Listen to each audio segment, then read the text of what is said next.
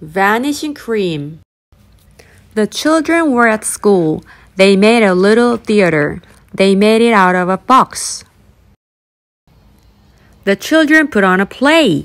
The play was about a wizard. He was called Wizard Blot. The Wizard Blot made mistakes. Wizard Blot made a spell. The spell went wrong. Oh dear, oh dear, said Wizard Blot. Everyone laughed. Everyone liked the play.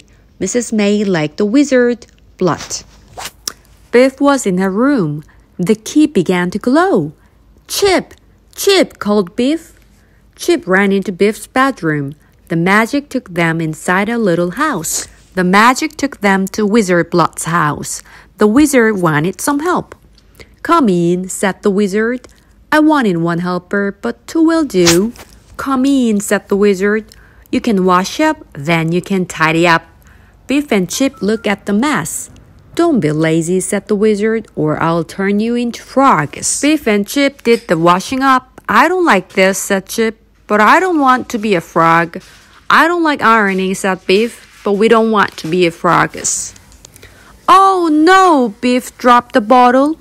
It was vanishing cream. Help, said Biff. This is vanishing cream. Chip looked at his hands. Oh no, he said. Bits of us are vanishing. He rubbed his face. Oh no, said Biff, your face is vanishing.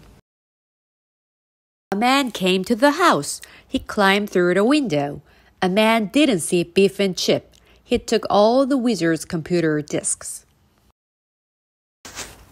Help! Help! said the man. I'm being attacked by the washing. Wizard Blot came back. Biff told him about the vanishing cream. Chip gave Wizard Blot the computer disks. The wizard was pleased. It was time to go home. Thank you, said Wizard Blot. Do come again. Biff had a little bottle. Don't drop it, said Chip. It's vanishing cream.